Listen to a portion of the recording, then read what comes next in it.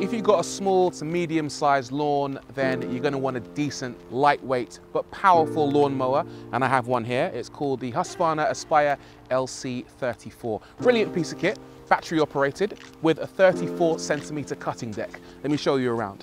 So the battery lives in here. You plug that in, no problem whatsoever. And it comes with a key. This is a plastic key. You turn that and it activates and the lawnmower is on. It's also removable, which is great if you don't want other people to use the lawnmower while you're not with it. It's also adjustable across four different height levels, low, medium, slightly more than medium, and high, depending on the length of your grass. It's also got this built-in storage bag for collecting your grass clippings. And it's got a very clever handle which allows you to fold it down to almost nothing. What you do is you twist these, slide those down, fold that back, remove the bag.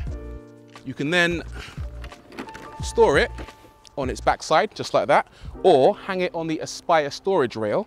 Or if you really want to, you can carry it around like a bag